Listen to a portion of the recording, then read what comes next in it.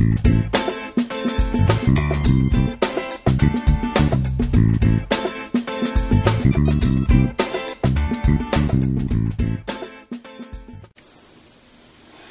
everybody, Heather here. Today we are going to tie this bow knot and get it the same exactly on both sides.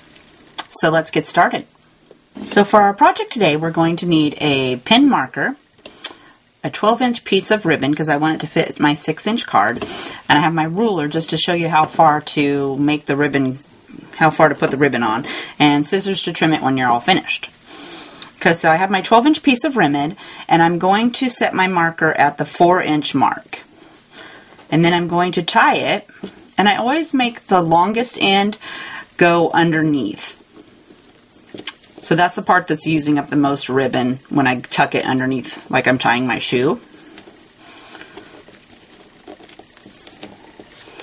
Pull it through, pull it tight, move it a little bit further up here on the end. I'm going to do the same thing with this side.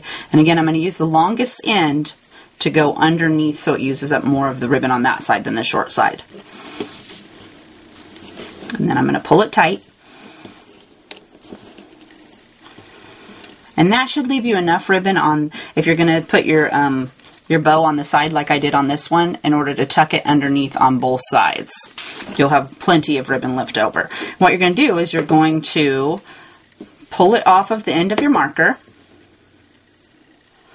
squish up this little part that was on the, um, the sketch, and I'm just going to trim it like this.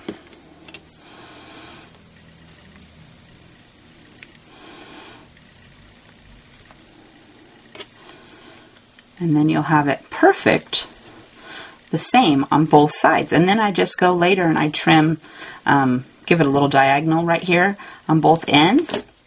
But then you have the perfect bow knot every time. And you can also try not just a sketch marker, but maybe your bottle of stickles, a bottle of glue, something that's just round on the end, um, just to make different size ends if you want it to be a little bit bigger. Make sure to cut your ribbon a little bit longer than 12 inches. This is perfect for a 6 inch card. Okay, thanks for joining me. Have a great day.